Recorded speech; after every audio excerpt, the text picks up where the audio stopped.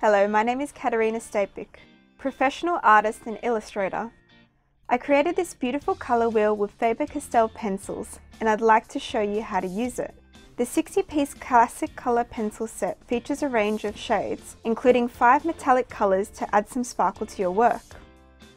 To help you choose the best colour combinations for your illustration, you can use the colour wheel included in this set. Analogous colours are great for harmonious illustrations, they are next to each other in the colour wheel and that is why they don't contrast much. Complementary and split complementary colour combinations are naturally pleasing and they add contrast to an illustration. At the back of the colour wheel, you will find examples of colouring techniques.